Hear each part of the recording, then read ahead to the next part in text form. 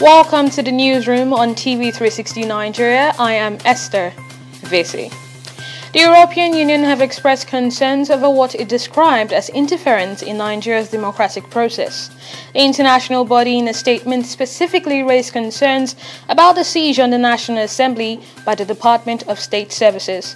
The body, however, reiterated its commitment to Nigeria's democracy and commended the Nigerian government for its swift reaction. Meanwhile, Senator Issa Misau has challenged the APC leader Bola Tinubu to provide evidence of his allegations that some senators are plotting to impeach Buhari. Tinubu made the allegation at the formal presentation of former Akwa Ibom State Governor Godswill Akpabio to the APC supporters in the state.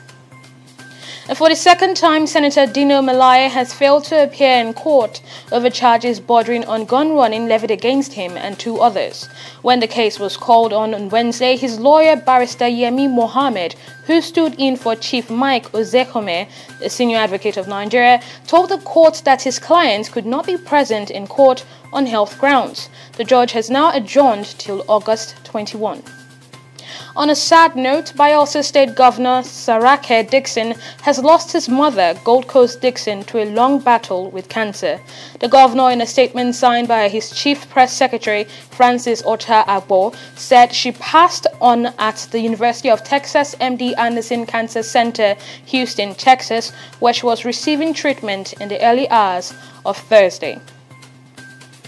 The Minister of State for Petroleum Resources, Ibe Kachikwu, has challenged the Nigerian LNG Limited to expand its liquefied natural gas production capacity to 40 million tons per annum over the next 30 years. He said this would enable the country to secure a significant share in the global LNG market and help with domestic supply of the commodity in line with the company's vision to help build a better Nigeria.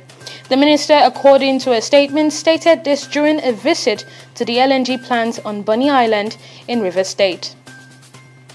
On the international scene, landslides resulting from heavy rains have killed at least 20 people in southern India, increasing the death toll in the nationwide monsoon to over 700 this year alone.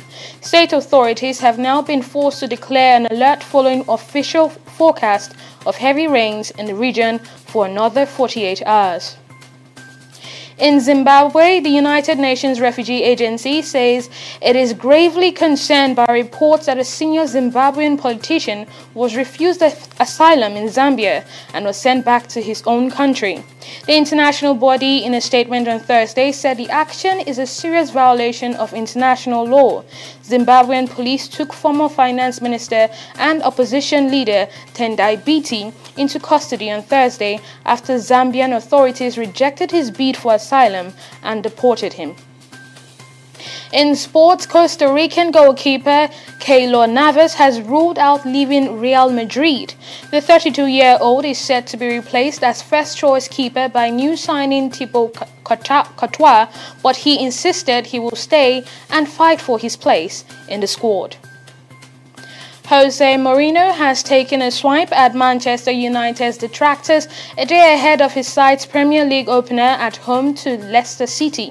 The United's boss about to begin his third season has caught a disgruntled figure during the summer, apparently unhappy with the club's transfer window activity.